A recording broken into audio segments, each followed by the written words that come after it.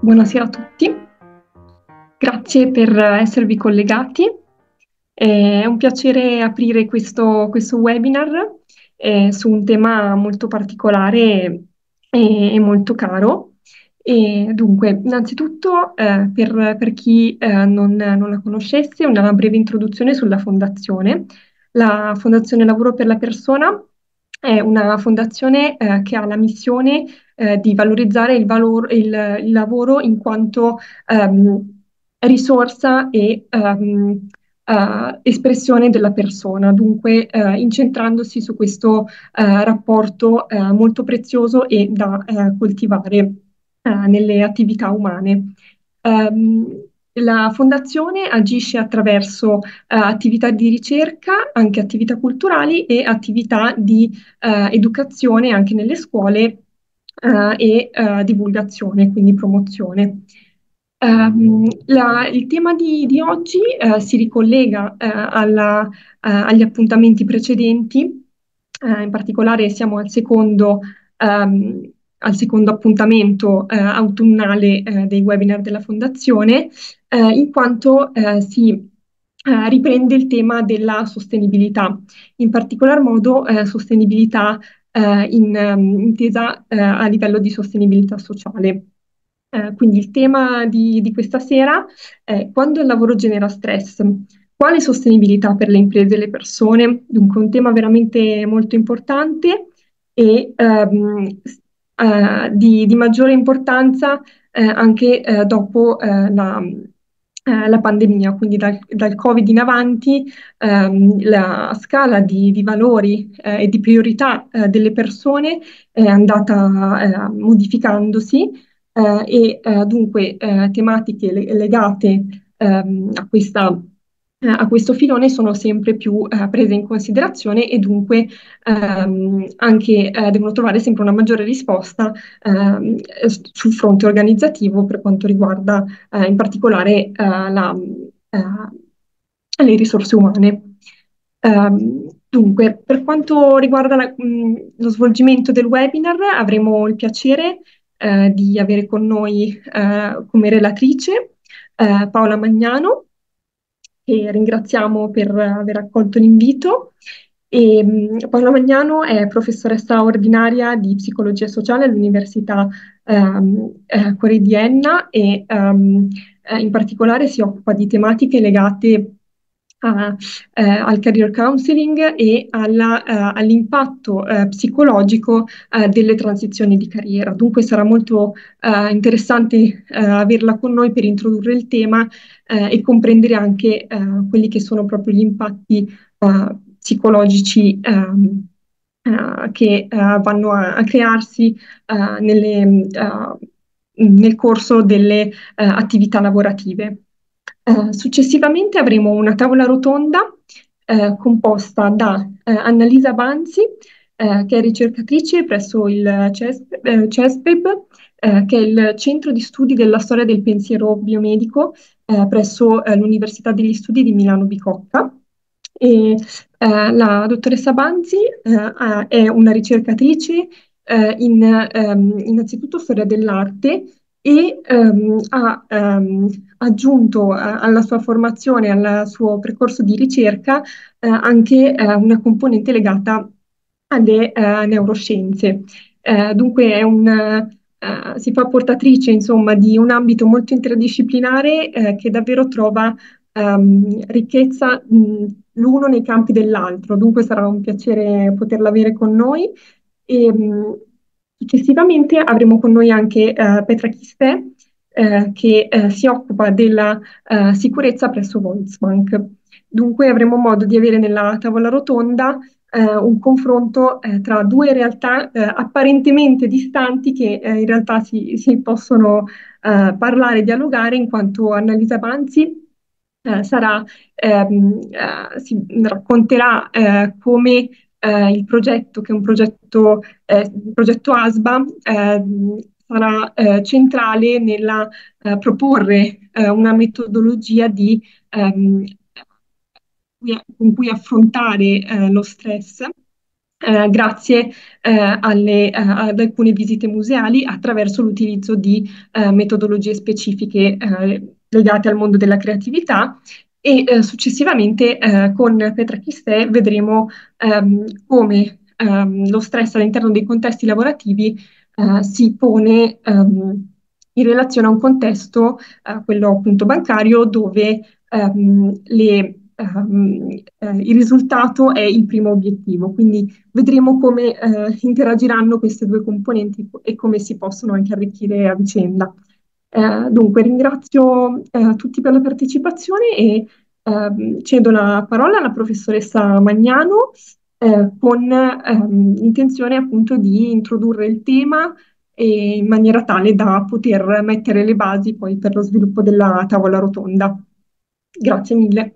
Grazie, grazie Alessandra, grazie alla Fondazione Lavoro per la Persona per questo invito. Ehm, è, è- è il tema, insomma, di cui tratteremo oggi certamente un tema complesso, un tema eh, che richiede una profonda riflessione e che non eh, e che deve superare, appunto, come arriverò un po' alla, eh, a, concludere alla fine del mio discorso, una eh, concezione eh, di tipo causa-effetto di, o di spiegazione lineare. Insomma, dalla, dal testo unico sullo stress lavoro correlato è stata fatta tanta strada negli studi che riguardano lo stress, nella concezione dello stress nei luoghi di lavoro e soprattutto ehm, è stato necessario eh, proprio in risposta agli eventi degli ultimi anni un cambio di paradigma dal concetto di stress al concetto di benessere.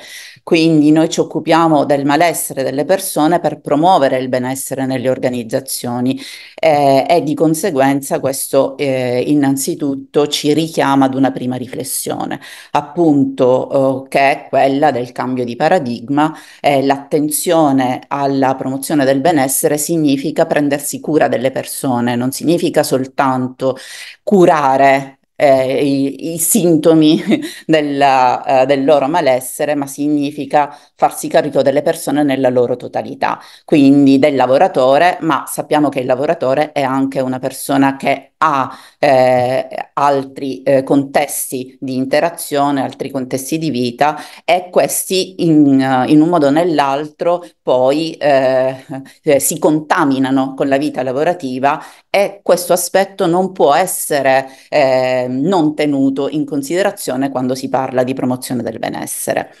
Un'altra, eh, un'altra, diciamo, un altro interrogativo, un altro, eh, un'altra riflessione eh, sulla, eh, sul preliminare rispetto al concetto di benessere nelle organizzazioni è la domanda che ci dobbiamo porre, cioè su quale benessere, cioè di quale benessere stiamo parlando, perché fino ad un certo punto anche negli studi eh, di psicologia delle organizzazioni, il benessere in qualche modo ehm, coincideva o si sovrapponeva al concetto di soddisfazione lavorativa, job satisfaction, che è una parte del benessere certamente, ma riguarda quella parte del benessere che eh, utilizzando il framework teorico della psicologia positiva chiama, chiamiamo benessere edonico, cioè la ricerca eh, di, di, della soddisfazione di, riguardante il raggiungimento di uno specifico compito, di uno specifico obiettivo.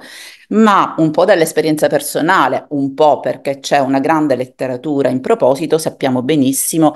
che eh, questo non è sufficiente, non è più sufficiente e ce, hanno, ce l'ha dimostrato eh, il fenomeno delle grandi dimissioni che ha riguardato tutto il mondo occidentale dopo la pandemia, perché ha proprio sollecitato una riflessione su un più ampio concetto di benessere che riguarda quello che viene chiamato, prendendo in prestito naturalmente un termine della filosofia antica, il benessere eudaimonico. Il benessere, eh, benessere eudaimonico che è correlato, che è associato alla ricerca di senso e di significato attraverso l'attività lavorativa, che poi è la ricerca di senso e di significato che riguarda la nostra vita, ma sappiamo perfettamente che per chi ha un lavoro, il lavoro rappresenta una parte eh, centrale importante della propria vita, mm, se non altro perché in termini di tempo speso eh, appunto è forse la, l'attività che eh, riveste eh, appunto a cui dedichiamo più tempo durante la giornata, ma anche perché il lavoro rappresenta, conferisce identità alle persone, l'identità professionale è una parte rilevante dell'identità personale. Quindi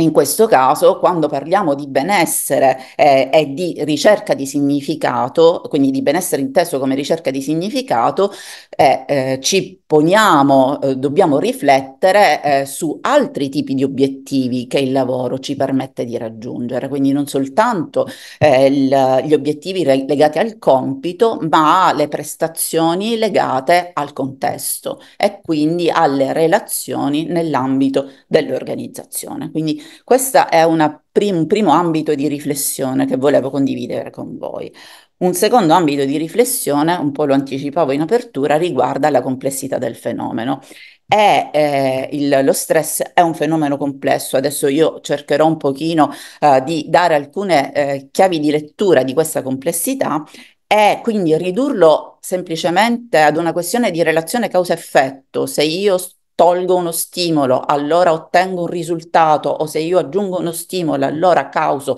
una, un malessere. Ecco, questa chiave di lettura non ci aiuta ehm, perché non soltanto non spiega il fenomeno, ma soprattutto non è utile dal punto di vista operativo, perché ehm, in qualche modo è come se suggerisse che esistono delle ricette, cioè delle, delle eh, indicazioni preconfezionate che vanno bene per tutti, per tutti i lavoratori, per tutte le organizzazioni e che per permettono poi al lavoratore di stare meglio e all'organizzazione di essere più efficiente. E purtroppo non funziona così, ma perché non funziona così in nessuno dei fenomeni umani, perché eh, i fenomeni umani eh, sono fenomeni complessi perché l'uomo ha un funzionamento complesso e se poi ci mettiamo che il lavoro eh, deriva anche dall'interazione di più persone e delle persone con l'organizzazione, questa complessità aumenta. Eh, quindi questo diciamo, è lo scenario nel quale eh, ci muoviamo quando parliamo di benessere nelle organizzazioni, e, mh, mm, però ecco, eh, le, il, il, senso comune ci suggerisce anche eh, alcune domande. Per esempio, ehm, lo, stes- lo stress è sempre nocivo? E poi è vero eh, che tutte le persone riducono le loro prestazioni quando sono sotto stress, oppure ci sono persone che invece lavorano meglio sotto stress, come per esempio eh, potrebbe suggerirci anche la nostra esperienza personale. Ehm, allora, rispetto alla prima domanda, no, lo stress non è sempre nocivo, ma diventa nocivo quando è prolungato, cioè quando eh, viviamo quando il lavoratore, la persona, l'individuo vive una condizione prolungata di attivazione. Non dimentichiamoci che quando parliamo di stress noi ci riferiamo a eh, un processo che è al contempo ormonale, fisiologico, cognitivo ed emotivo. E quindi tutta questa attivazione naturalmente può essere retta dall'individuo per un tempo limitato. E quindi è vero che ci sono persone che in, uh, in, quando si trovano sotto pressione riescono a rendere meglio. Ma quale tipo di performance riescono a uh, produrre in, uh, in maniera qualitativamente migliore? Eh, generalmente sono le performance legate agli obiettivi. Quindi gli studi eh, scientifici in questo ambito ci dicono che le persone sotto stress lavorano meglio quando devono raggiungere degli obiettivi specifici. Però ci sono altri tipi di performance che il lavoro nelle organizzazioni richiede. E sono quelle performance che sono legate alla dimensione della relazione, quelle che vengono chiamate le context related performance, cioè tutti quei comportamenti che contribuiscono a al clima organizzativo, che contribuiscono alla qualità delle relazioni. Parliamo per esempio dei comportamenti di cittadinanza organizzativa, i comportamenti di supporto e di aiuto ai colleghi, i comportamenti di eh, coordinamento, di, eh, di, di, integrazione, i comportamenti anche eh, di appunto tutto, tutta la dimensione eh, legata alle relazioni e alla qualità delle relazioni. E gli studi ci dimostrano che le prestazioni eh, che sotto stress sono queste prestazioni che soffrono e quindi il rischio è che nel, nel medio e nel lungo termine le organizzazioni soffrano di un eh, di un clima eccessivamente competitivo, eh, di, eh, soffrano di una scarsa qualità delle relazioni tra i colleghi, della percezione di una mancanza di supporto da parte degli altri, proprio perché non c'è tempo per potersi dedicare a questo genere di, eh, di comportamenti che però sono funzionali al benessere delle organizzazioni. Quindi eh, ecco, privilegiare un aspetto rispetto all'altro rischia di certamente eh, investire negli, negli, obiettivi a breve termine, ma rischia di deteriorare invece eh, il, eh, il lavoro in una prospettiva di medio e lungo termine. Poi non dimentichiamoci che eh, il, quando parliamo di stress, dicevo prima, abbiamo a che fare con una persona nella sua totalità, gli stressor, cioè le fonti di stress, adesso poi cercheremo anche di capire eh, a cosa ci riferiamo, non derivano soltanto dalla, uh, dall'ambiente lavorativo, ma derivano anche da tutto l'ambiente di vita della persona ed è difficilissimo separare gli uni dagli altri. Molto banalmente, un lavoratore che magari fino ad un certo punto riesce, della, della propria vita, riesce a gestire il carico di lavoro eh, con buoni risultati eh, e anche con una sufficiente resistenza, mh, mm, eh, deve affrontare un evento nella propria vita personale per cui deve accudire un genitore malato, eh, deve accudire un figlio che è nato, deve affrontare una separazione, un divorzio, un trasloco, un qualsiasi evento normale nella vita di una persona, ma naturalmente questo è un aggravio di richieste che seppur non direttamente legate al lavoro, ma ricade sempre sulla stessa persona. Per cui è difficilissimo poi calibrare tenendo conto anche della vita individuale al di fuori dell'ambiente organizzativo. E però di questo non possiamo non occuparci, cioè le persone eh, non vivono soltanto dentro l'organizzazione, ma vivono anche al di fuori dell'organizzazione e questo è un, è un ulteriore elemento di complessità che è necessario tenere in considerazione.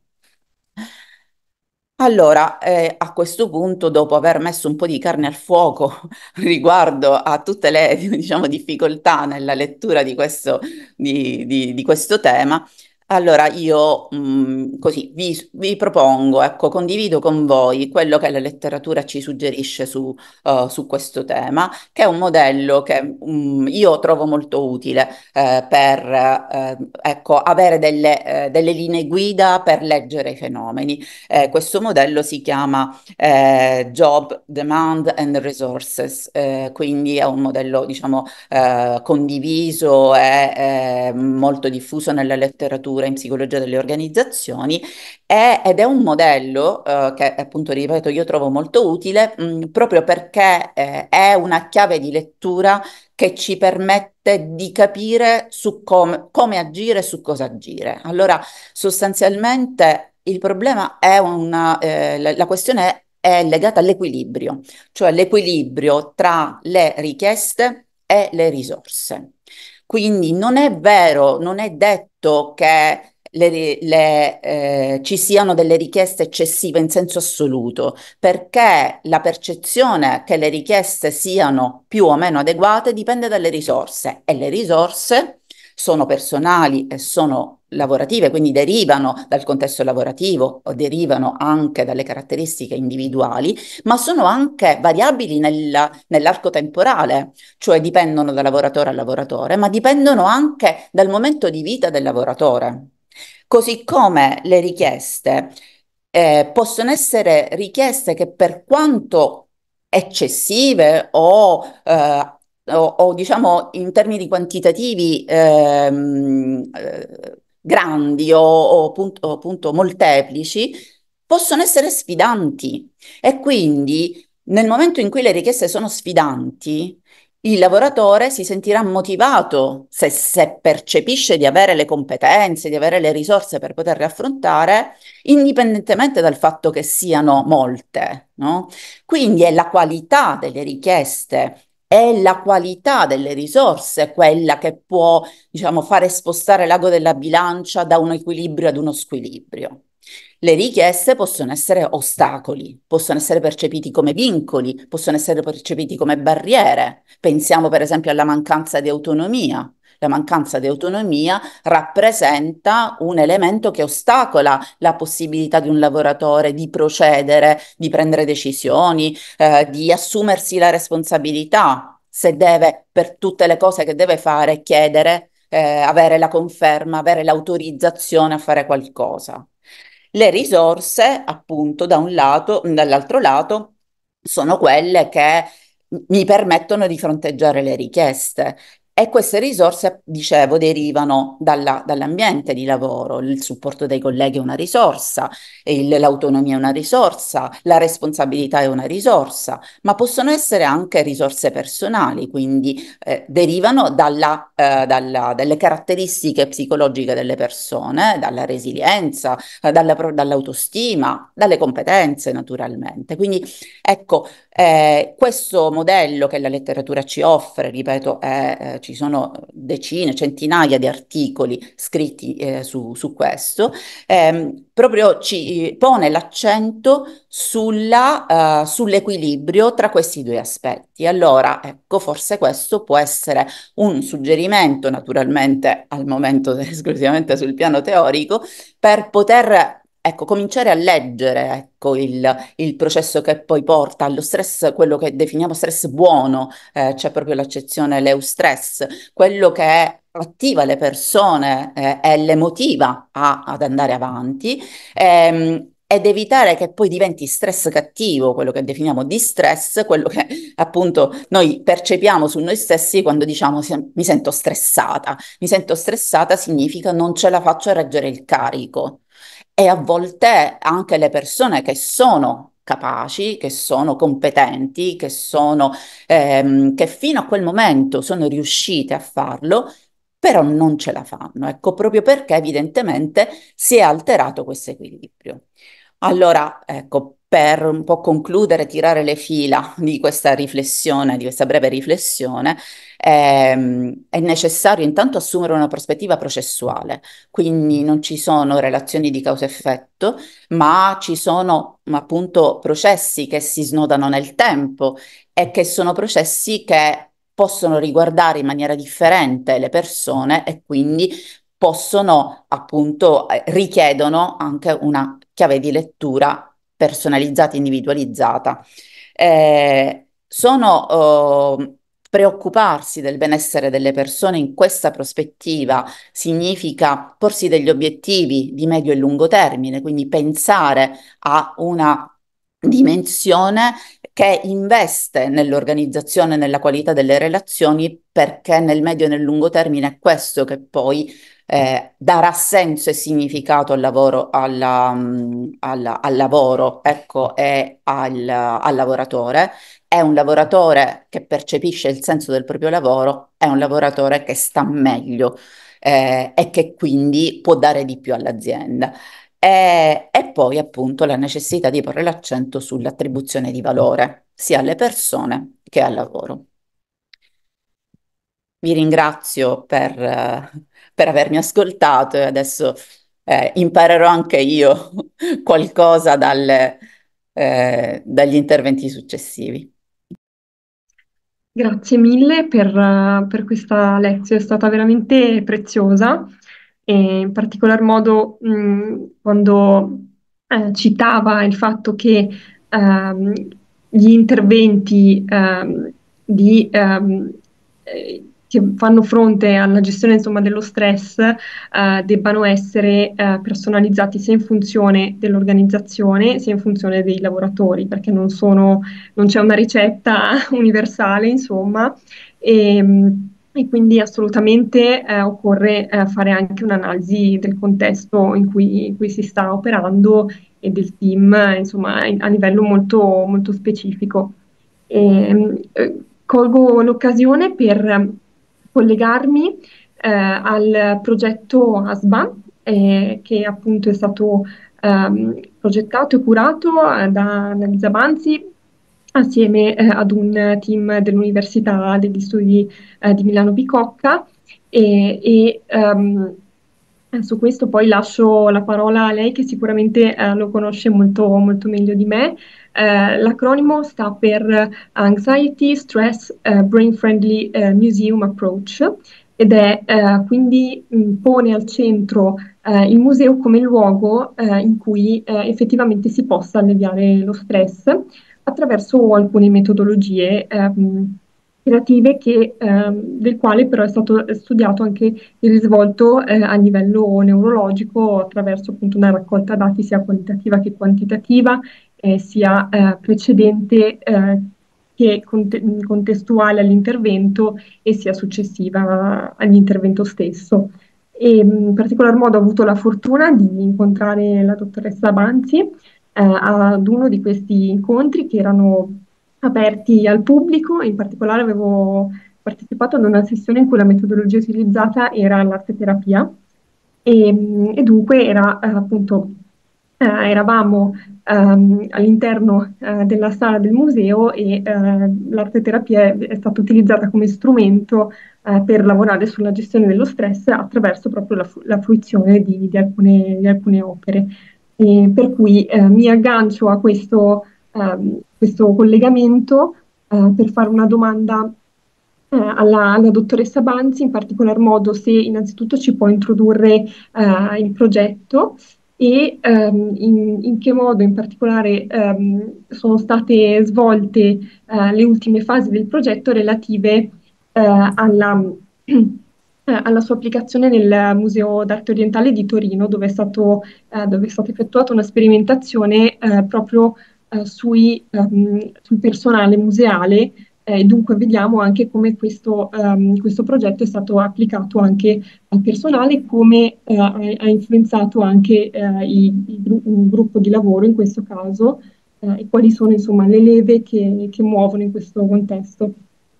Grazie mille.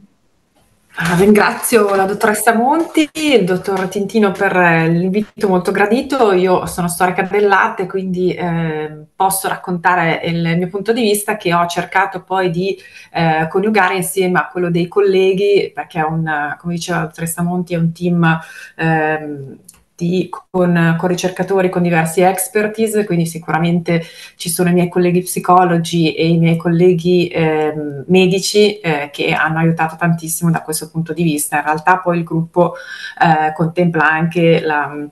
il coinvolgimento di altri, eh, altri mh, ricercatori. Il tempo è molto, il tempo è tiranno, quindi cercherò di essere estremamente sintetica. Allora, ASBA nasce nel 2022, eh, dopo quindi tutta la situazione pandemica e eh, la domanda è stata quella di cercare di eh, venire in soccorso alle persone che magari non avevano una diagnosi di eh, ansia di stress, quindi non avevano delle patologie conclamate, ma comunque tutti ne abbiamo risentito. Quindi l'idea era quella di promuovere delle attività in museo che potessero venire incontro a tutti noi.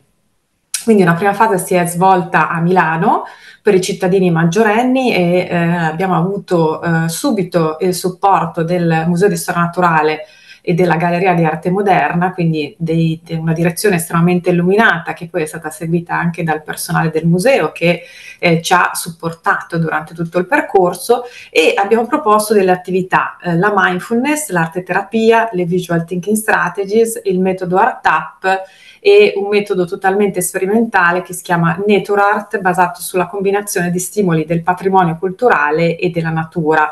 Purtroppo non riesco a entrare nei dettagli, quindi mi perdonerete se eh, non racconterò le varie metodologie. Eh, il, il, progetto eh, è stato, mh, si basa su un protocollo di ricerca eh, quindi un documento, il protocollo di ricerca è un documento che descrive le varie fasi della, della, della sperimentazione, di come verrà condotta ehm, e che è stato approvato dal Comitato Etico dell'Università degli Studi di Milano Bicocca. Eh, la seconda fase è, è stata eh, portata avanti, quindi Milano, cittadini maggiorenni, Torino abbiamo lavorato con il personale museale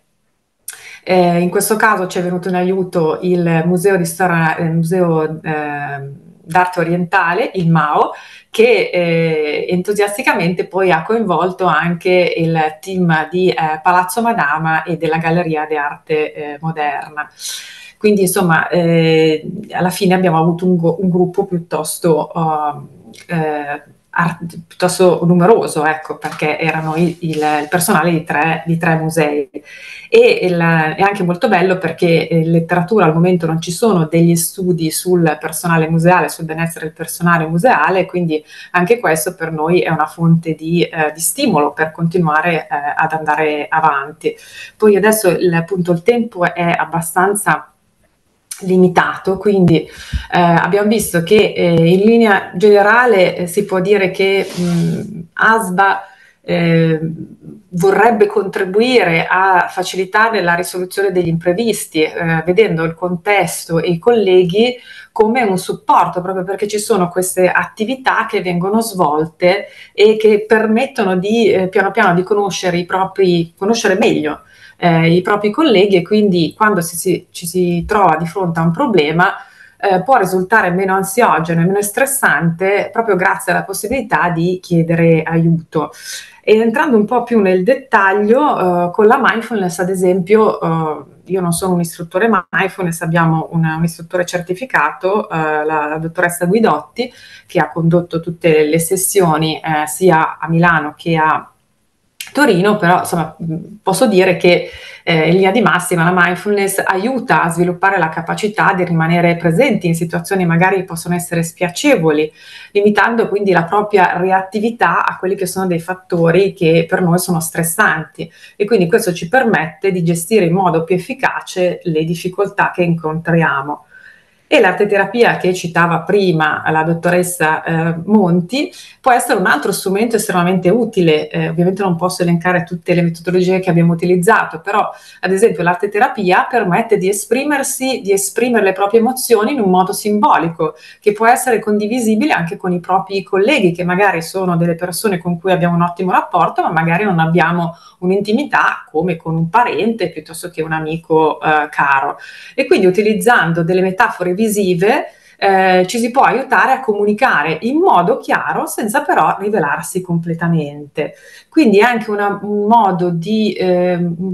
utilizzo di una, di una, comunicazione non verbale che avviene attraverso appunto nel caso specifico uh, del, dei musei uh, con l'utilizzo ad esempio di disegni, della creta, uh, quindi la possibilità di colorare, disegnare, creare, ehm, quindi la possibilità di comunicare ehm, attraverso qualcosa che non è verbale e che magari eh, la parola non riesce a, eh, ad esprimere in maniera efficace. E direi che una parola chiave che, eh, che, che ritorna nel, nel, progetto ASBA e che eh, eh, contraddistingue gli obiettivi di ASBA è quello di eh, generare o aumentare consapevolezza. Quindi ehm, cosa sono l'ansia e lo stress, mm, quali sono dei metodi efficaci per gestire questo, questi, mm, questo stress o, questo, o l'emozione dell'ansia, eh, sviluppare una consapevolezza collettiva all'interno del gruppo di lavoro, ma anche rendersi, mm, rendere un gruppo o gli individui consapevoli del fatto che il museo, attraverso delle attività mirate, può contribuire al benessere dei lavoratori rispettando sempre però questa istituzione culturale, quindi rispettandone la missione, rispettandone le collezioni. Quindi in questo dialogo con gli oggetti si inizia a conoscerli e nello stesso tempo si esce che si è ristorati, ristorati mentalmente ma anche in un certo senso fisicamente. Quindi il museo nella sua complessità diventa un luogo che supporta la nostra uh, salute mentale e ormai questo è qualcosa che viene riconosciuto anche a livello, a livello mondiale. Ecco. io non so se sto... Uh, se posso continuare o se mi interrompo perché poi se volete vi parlo dei focus group che abbiamo tenuto all'interno del museo di eh, del Museo d'Arte Orientale per darvi un'idea di quello che sono, è stata l'evoluzione di questo gruppo meraviglioso che nonostante fosse eh, molto coeso, come tutte le realtà non c'è mai limiti alla perfezione, al miglioramento, quindi eh, è stato bello vedere anche eh, un gruppo che già partiva molto bene, che comunque ha avuto dei, dei benefici. Quindi magari mi, mi, interrompo qui e poi se volete riprendo uh, successivamente. Allora, penso che abbiamo ancora qualche, qualche minuto, perché Ok. uh, proprio 3-4 minuti se, se Sì? vuole, e poi Va bene, allora posso, passiamo posso proseguire, all'intervento non voglio rubare successivo. tempo. Grazie. Ehm, allora, ehm, per quanto riguarda il focus group eh, che abbiamo tenuto a, a, Torino alla fine di ogni ciclo, quindi alla fine della mindfulness, dell'arte terapia, del, di Naturart e nel caso di, di Torino abbiamo proposto il chair yoga, quindi lo yoga da seduti che è una pratica molto inclusiva, nel senso che permette di essere ehm, così, ehm, coinvolgere tutti, eh, tutte le età, persone anche che magari hanno delle, qualche difficoltà motoria e anche eh, permette di eh, tenere, lasci, dire, eh, mantenere in sicurezza gli oggetti che sono esposti. E ehm, ad esempio nei focus group abbiamo visto che inizialmente la discussione era un po' frammentata, invece poi con il passare del tempo, delle settimane, è diventata più fluida e si è orientata, si è proprio più focalizzata alla, alla risoluzione dei problemi che ovviamente qualsiasi team può avere. E se i primi incontri magari erano più centrati su delle questioni personali, perché giustamente ognuno parte dalla propria esperienza, poi con il passare del tempo, ancora una volta, il focus si è spostato e quindi si è cominciato proprio a eh, percepire in maniera più forte il gruppo e quindi a eh, focalizzarsi sulle dinamiche del, del, team, che poi è lo, uno degli obiettivi principali del progetto, l'idea proprio di promuovere un ambiente di lavoro che sia eh, accogliente, che sia piacevole, ma sia anche eh, appunto quindi meno stressante.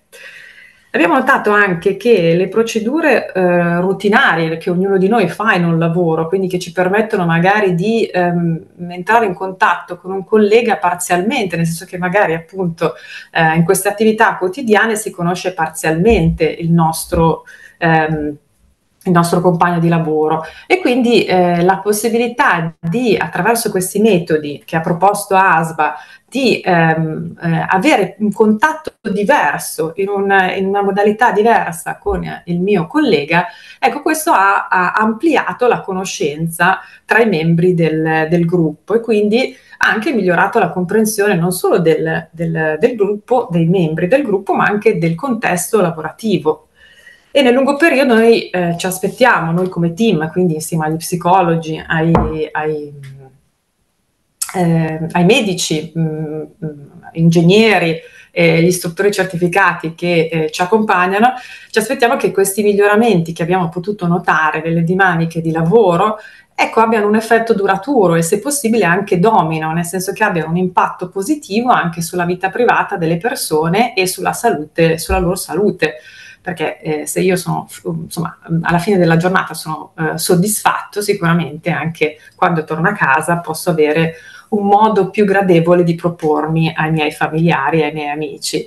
E diciamo che ASBA, eh, coltivando l'intelligenza emotiva, ma anche altri aspetti cognitivi, e grazie anche alle strategie che sono state proposte, eh, cerca di offrire una visione nuova di quella che è la realtà lavorativa, quindi eh, cerca di migliorare quella che è la capacità di risolvere i problemi in un modo creativo, quindi in un modo diverso da quello che eh, normalmente magari siamo portati a, a, fare perché siamo magari imbrigliati in determinati limiti, ehm, chiamiamoli mentali. E, ehm, Un'ultima co- un ultimo aspetto che, mi, eh, che, vorrei condividere con voi e eh, che abbiamo notato è quello del, della promozione della consapevolezza della complessità delle situazioni, nel senso che ehm, attraverso queste attività ehm, le persone diventano più sensibili a quello che è il, ruolo, il loro ruolo all'interno di un, di un team e quindi ehm, diventa sempre più sensibili perché ovviamente si parla di, almeno nel caso di, di questi musei, di, eh, di, dire, di, gruppi di lavoro che, la, che già sono, come si diceva prima, coesi, che lavorano bene. Eh, l'idea è quella di eh, rendere sempre più sensibili le persone verso quello che è eh, il loro ruolo e quindi quando c'è la possibilità di intervenire in quanto membri di un team e quando invece è necessario accettare la situazione, eh, tollerando l'incertezza, tollerando le sfide quotidiane che siano grandi o piccole. Eh, ASBA inizialmente non nasceva per le aziende, perché appunto nasceva per mh, cittadini maggiorenni, per il personale museale e il prossimo step sarà per i cittadini minorenni che voi sapete benissimo che hanno avuto anche loro grandi eh, dire, difficoltà dopo la pandemia, però eh, stiamo vedendo che le aziende ehm, hanno, stanno guardando anche a questo tipo di attività e quindi eh, ci stiamo organizzando anche per venire incontro a questo tipo di, di esigenze. Io mi fermerei qui Grazie e vi ringrazio mille. per l'attenzione. Eh, assolutamente è stato un intervento molto interessante anche alla luce di, di quello che si diceva sulla, sulla, personalizzazione degli interventi e sul fatto che comunque lo stress vada, um, vada gestito mh, in relazione al fatto che la persona eh, è da considerarsi nella sua globalità, quindi considerando mh, anche le altre sfere al di fuori di, di quella lavorativa, che comunque mh, compongono il, il puzzle che, che, la persona è anche, anche a lavoro. E, eh, mi, mi, sposto eh, da questa dimensione eh, ad un'altra che appunto apparentemente può sembrare lontana, ma mi auguro che pian piano diventi sempre più, più vicina grazie a questa tipologia di interventi, che è quella ehm, eh, di, eh, della realtà bancaria in particolar modo di un grande orientamento al, al, risultato. Abbiamo con noi appunto la dottoressa Chistè che è ehm, responsabile della sicurezza in Wolfbank e, e dunque ehm, quale eh, ruolo eh, più, più, adatto per parlarci eh, della gestione dello stress in, in, relazione anche a quella che è la necessità di ehm, garantire mh, costantemente eh, sicurezza in ambito bancario al cliente, quindi magari come possiamo ehm, trasferire la gestione dello stress nei confronti del cliente anche al, mh, proiettandolo verso, verso, l'interno nella gestione delle relazioni invece eh, con, con, i colleghi a livello, a livello interno. E, e, come quindi sia possibile anche ehm, in un'organizzazione eh, particolarmente orientata eh, al risultato, eh, arrivare mh, a, ehm, far fronte a quelle che possono essere ehm, le tipiche barriere mh, alla gestione dello stress, soprattutto per il, ehm, eh, il, il, middle management che eh, deve far fronte insomma, a esigenze ehm, sempre più diversificate. Cedo, cedo, la parola alla dottoressa Chistè e la ringrazio. Grazie mille. Allora, sicuramente l'ambito bancario, e come già anticipato, è forse uno degli ambiti dove lo stress orientato, diciamo, al raggiungimento di obiettivi è, è, è proprio un principe, no, della nostra eh, organizzazione. E, mentre fino a pochi anni fa eh, la parte di gestione dello stress era un mero compito e adempimento normativo, perché ricordiamo che per le organizzazioni la, la, la valutazione dello stress lavoro correlato è obbligatoria, eh, così previsto dall'INAIL. E, um, adesso posso dire con soddisfazione che quantomeno eh, nella, nella, mia realtà ehm, questa fase di mero obbligo eh, normativo si è trasformato in quello che noi amiamo chiamare appunto progetto benessere. E qua mi ricollego all'intervento iniziale della dottoressa Magnaro, dove appunto sottolineava il fatto che ormai non si parla più di stress, ma si parla di benessere del lavoratore. E, e mi sono ritrovata anche molto eh, nell'accezione del lavoratore, delle persone che lavorano all'interno dell'azienda. In particolar modo noi amiamo eh, riferirci a, a, noi collaboratori di Volksbank come una persona a tante facce, no? Quando a me mi si presenta un mio collaboratore, un mio collega, ho davanti a me in quel momento la faccia di Petra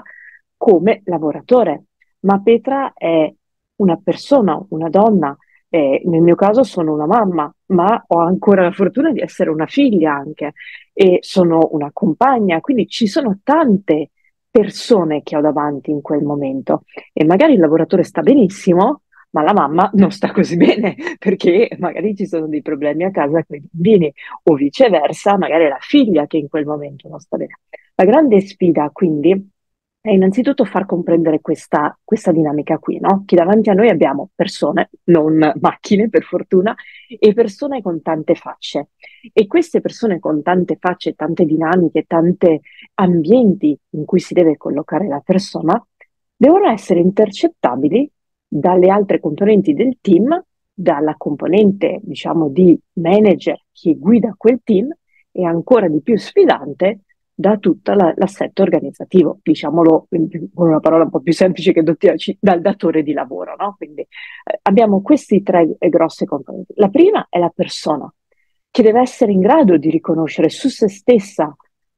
quando arriva vicino al limite. Io amo sempre andare in prevenzione, mai poi in response, no? Quindi quando io ho una persona stressata, lì ormai io sono in una fase di contenimento, di reazione io devo arrivare molto prima.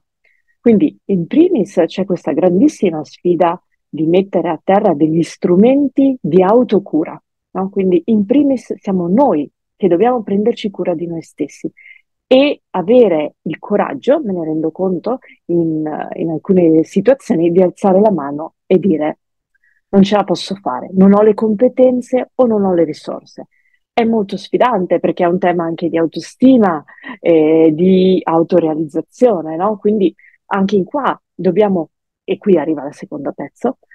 il datore di lavoro, il manager, deve dare gli strumenti al lavoratore per riconoscere questi segnali, per riconoscere i segnali su se stesso o se è alla guida di un team, riconoscere i segnali all'interno del team. E questo secondo me è, è, uno degli obiettivi più sfidanti che ci sono in un'organizzazione, ancor più in un'organizzazione dove l'obiettivo è chiarissimo. Allora, abbiamo l'obiettivo mensile, abbiamo l'obiettivo trimestrale, abbiamo l'obiettivo annuale. Quindi riuscire a riunire queste due cose, raggiungimento dell'obiettivo che come dicevamo prima se messo nel contesto giusto diventa uno stress positivo, il famoso eustress, no? E, che quindi mi aiuta un po' come la macchina, no? con la benzina ha, un buon, ha, una buona reazione, reagisce meglio e, e, e, quindi lavora meglio. Ma se io invece a quella macchina eh, gli do degli, delle accezioni negative, gli sgonfio le gomme o gli do un problema al motore stesso, la benzina e il raggiungimento dell'obiettivo mi diventa assolutamente stressante, non riesco a riuscire ad arrivare al, al traguardo. Tutti noi penso che bene o male abbiamo fatto una verifica alla scuola o eh, un esame all'università. Poco prima del, dell'inizio del, dell'esame o, del, o della verifica a scuola siamo tutti stressati perché arriviamo a dover cominciare a fare lo stress. Ma se questo è preceduto da una fase di preparazione, di riconoscimento delle proprie mancanze, lacune nello studio, arriverò lì con una buona mia soddisfazione della mia preparazione e quello stress che vivo pochi minuti prima dell'inizio della prova sarà solo propedeutico a mettere a terra il mio risultato. Se diversamente non ho potuto studiare, ho passato la notte in bianco perché è successo un fattaccio in famiglia o perché magari mi sono andata a divertire e ho detto ma sì dai tanto succede questo succederà, lo stress improvvisamente diventa negativo. La, la sfida più grande, dicevamo, è dare gli strumenti anche al management o anche al datore di lavoro e soprattutto metterli a terra. No? Quindi dobbiamo uscire. Io molto spesso mi confronto all'interno dell'azienda con le diverse figure che eh, partecipano alla sicurezza sui luoghi di lavoro all'interno dell'azienda sul fatto che ma dobbiamo risolvere quel problema. Eh, non abbiamo la bacchetta magica, non è che se io faccio bling da una parte e tolgo quel problema e lo sposto da un'altra parte ho risolto il problema. Appunto, l'ho solo spostato, non l'ho risolto. E, e quindi dobbiamo eh, invece dotare le persone di una capacità di generare benessere. E qui eh, mi aggancio sulla eh, seconda parte, diciamo, della domanda. Quali sono quindi gli attori chiamati a mettere in campo questi strumenti e quali strumenti? Beh, è indubbio che è tutta l'organizzazione che deve mettere a terra questi strumenti. In primis è, l'alto management, no? che deve trovare da un lato strumenti innovativi, noi al nostro interno abbiamo individuato quello che appunto era il progetto benessere, che erano una serie di incontri proprio per, per, per tutti i nostri collaboratori che avevano intenzione di, di, di, collabor- di seguire questo progetto, eh, che da una parte faceva capire che cos'era lo stress, no? quindi proprio spiegava eurostress e, e, e, e stress, diciamo, cattivo. E dall'altra parte invece cominciava a dare una cassetta degli attrezzi. E quindi abbiamo cominciato, mi sono ritrovata molto nell'ultimo intervento, eh, a fare la yoga della risata, a fare il, il, ciclo di coerenza cardiaca, quindi anche in questo caso eh, respirazione, controllare i battiti. Eh, abbiamo fatto degli interventi di quelle che sono la musica a 432 Hz, che sappiamo essere una soglia di eh, musica che permette un certo tipo di rilassamento. E ci sono stati addirittura dei progetti pilota a lato, a lato che sono nati eh, da una parte eh, un po' come premio post pandemia e un po' come eh, ridare forza a un team che ha lavorato molto in pandemia, sono stati attivati dei percorsi di teatro anziché di cucina, sempre dello stesso team. E, e, appunto questo ha permesso di creare una relazione che fosse slegata dal contesto lavorativo.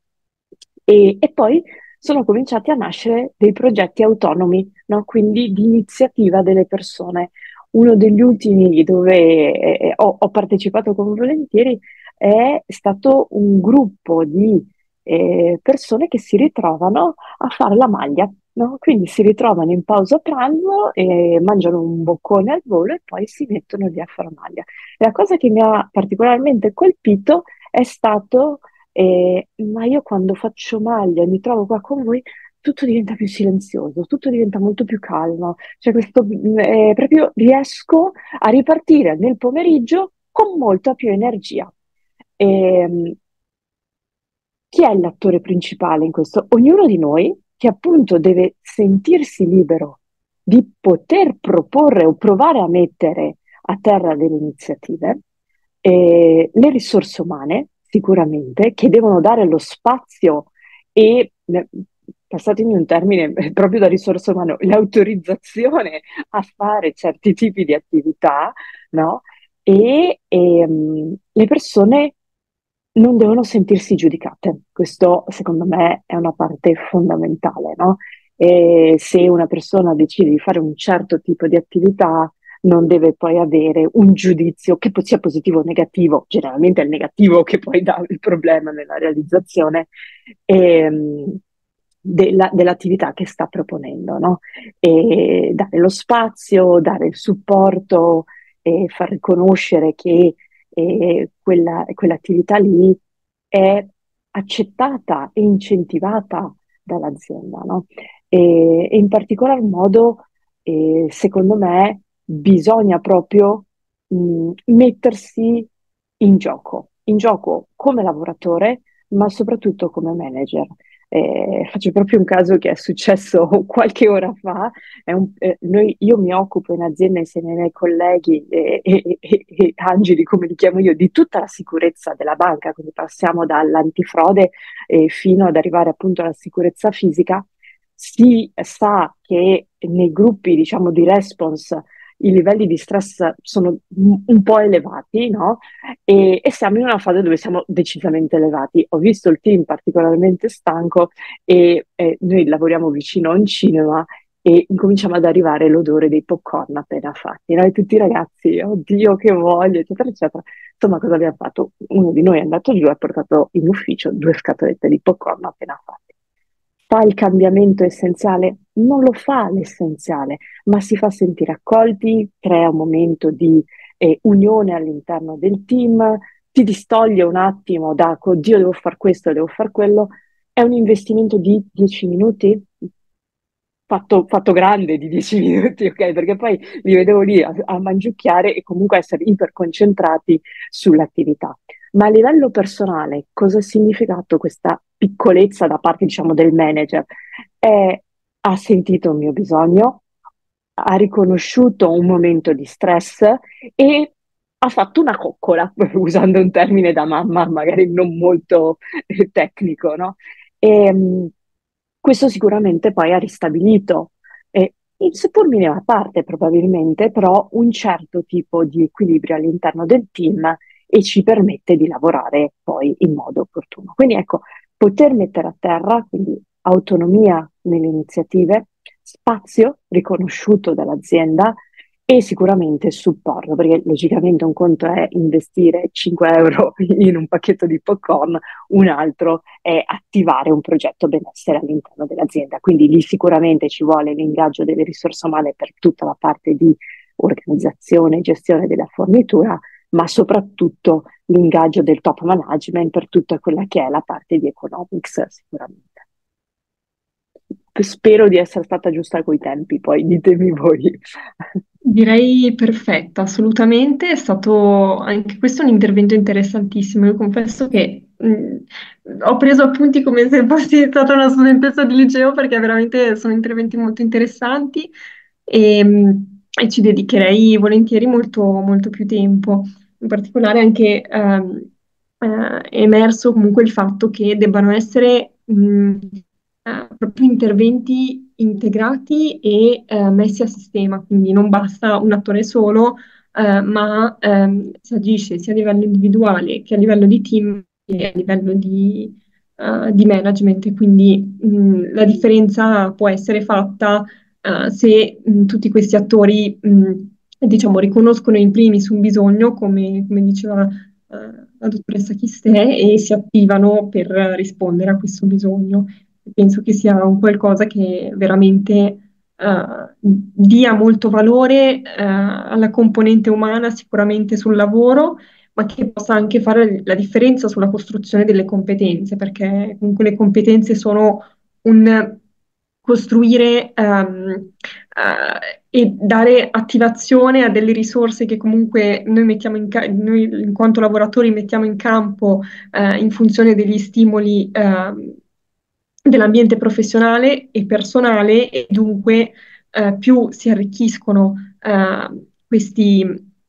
eh, questi, stimoli, più è possibile anche eh, diciamo, attivare delle risorse che ci consentono di far fronte eh, a una varietà di, di, situazioni sempre maggiore. Ecco, quindi sicuramente tutti questi interventi sono preziosissimi e mi auguro che, eh, che che prendano comunque eh, sempre più, più piede, sempre più spazio all'interno delle organizzazioni dove sicuramente ce n'è molto bisogno, ecco.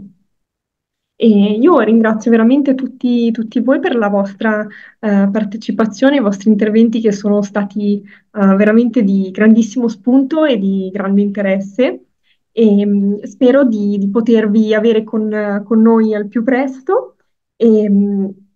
eh, vi faccio eh, un, vi lancio un invito eh, a seguire anche le, i prossimi appuntamenti della Fondazione Lavoro per la Persona, che eh, in particolare il prossimo sarà tra, tra un mese, quindi a fine, fine novembre, e appunto le tematiche eh, seguono eh, filoni analoghi.